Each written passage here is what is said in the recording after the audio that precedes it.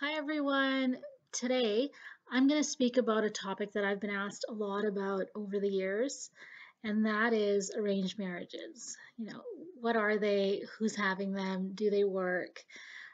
You know, arranged marriages come with a very negative connotation often. Um, and it's unfortunate because, you know, I think that they work just as much um, and often sometimes more, you know, as love marriages. Um, and they've gotten this kind of bad rap.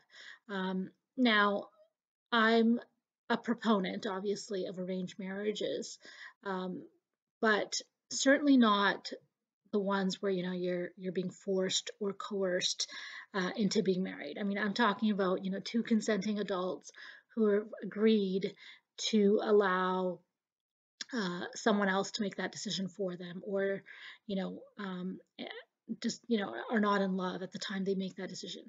Personally, of course, it would be difficult for me to not be in love before I got married, but I support those of those of you who have chosen the path of arranged marriages, and I'm hoping that this post today will um, kind of dispel some myths about what arranged marriages are. So, you know, firstly, there's there's not um, one type of arranged marriage. Um, and there are, you know, different categories. And one of the first categories is probably um, what people really think about when they think of arranged marriages, and that is um, the blind marriage. That is kind of what you think of, you know, um, probably when, for example, think of blind date. You know, you don't know the person, you meet for the very first time at the wedding ceremony and um, and you get to know each other after your your your wedding.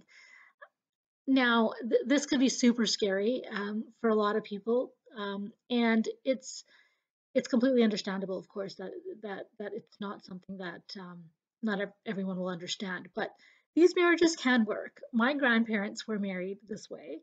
Um, they had never met. They knew very little about each other. Their parents had made that decision for them, and um, they were happily married until my grandfather passed away. So these marriages, while scary, um, can be quite successful. The other type of arranged marriage is, you know, I know you, but I don't. So this is where um, you might know who that person is that you're going to get married to. Uh, maybe your parents have made that decision for you, um, and you, again, really speak for the first time after your uh, wedding ceremony. Um, now, this is this is the type of marriage that um, a lot of um, of my parents' generation um, were seen to be doing um, in the in the uh, Indian culture. My so my parents were married this way, where my mom knew who my father was. Prior to getting married, she had seen him, knew of him, but had never spoken to him, and got to know each got to know him after uh, they they were they were married. So the third type of marriage is what I like to call the introduction. Uh, this is the type of marriage um, where uh, you know the parties are introduced by their parents with the you know understanding that you know they make a decision uh, perhaps that day even uh, that whether they're going to be getting married and um, I, there are people of my generation, absolutely, that um, have been married this way, and even in my own family that are now uh, almost 15 years married uh, this way uh, happily. So uh, something that you you see um, uh, quite quite commonly actually um, in the Indian culture, and as you can see, arranged marriages have evolved, um, but with the same uh, foundation, which is somebody else is kind of making that decision for you.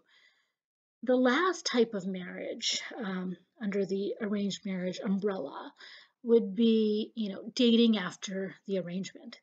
That is where, you know, perhaps your parents again have made that decision for you and uh, you date your fiance at this point uh, until you're married. And, you know, oftentimes, you know, you will grow to like or love that individual uh, or you know you, you don't and that that occurs or doesn't occur after marriage but in all of these types of uh, relationships what's important to note is that if both parties have the same sort of values and ideology about what marriage is, then absolutely it can work. And hopefully they they will like each other and, and learn to love each other, um, you know, as, the relationship grows. And, and that's obviously the hope for everyone.